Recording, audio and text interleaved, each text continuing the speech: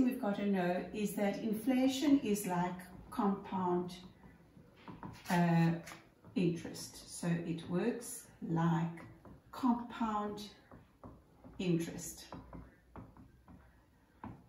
Now I quickly Googled the um, inflation rate, I'm going to write it larger here, so over the last few years in South Africa. So in 2017, the inflation rate was 5.27%. In 2018, the inflation rate was 4.62%. Uh, 2019, it was 4.38%. And in 2020, it is 5.17%. Now, um, let's just draw a graph of that. So I'm going to do a graph 2017, 2018, 19 and 2020 and we're going to leave out part of the graph and start at 4, 5, 6. This is inflation as a percentage. So if we start in 2017, it was at 5.27%. Then it in 2018, inflation was 4.62%. In 2019, 4.38%. And then in 2020, uh, 5.17%. So if we track this, right, and now, okay, now a very common question is, were there any years in which prices actually decreased? And a lot of kids would see a graph that's decreasing and they would say, yes, in 2018 prices decreased, 2019 prices decreased, and prices went up in 2020. And I just want to say that is completely wrong. In fact, every single year prices increased. So in 2017, prices increased by 5.27%. In 2018, prices increased by 4.62%. They increased in 2019 by a further 4.38%. So you must not be deceived by the fact that the graph is going down because this is a graph of percentage inflation. So what is happening is the actual percentage is less, but the prices are still increasing. Let's have a look at a calculation.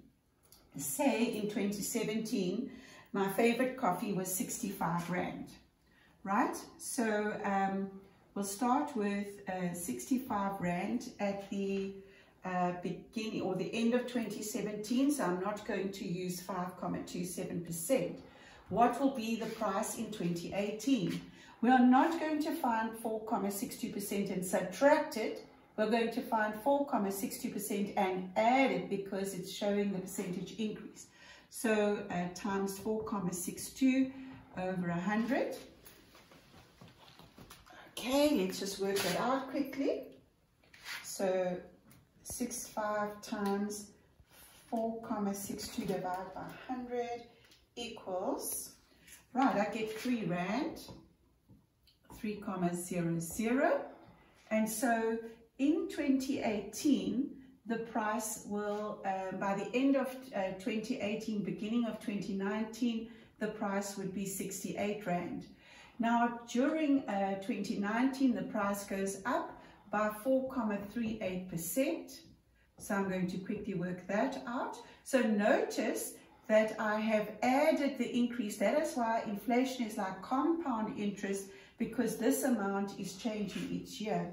So 68 times 4.38 divided by 100 equals, and I'm rounding to the closest cent, 2.98 if I round to the closest cent.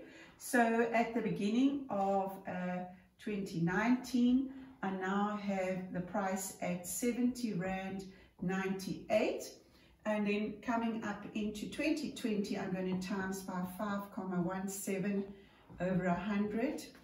Uh, 70,98 times 5,17 divided by 100 equals 3,67 and so if we add that together plus 70.98, we could see the price would now be 74 Rand 65.